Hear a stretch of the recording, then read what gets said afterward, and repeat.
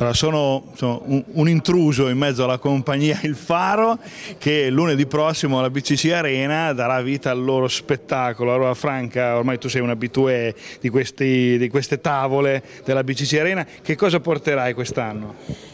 dunque un atto unico che le casalinghe emancipate e poi ci sono diversi monologhi di altri autori.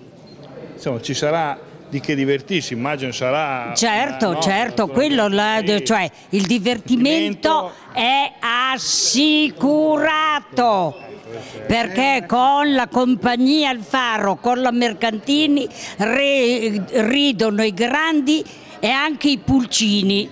Ha fatto anche la rima, c'è una novità, dicevi. Sì, dicevo, quest'anno mm, renderemo omaggio alla città che ci ospita da diversi anni, eh, ricordando un autore fanese e quindi il dialetto sarà non solo pesarese ma anche fanese.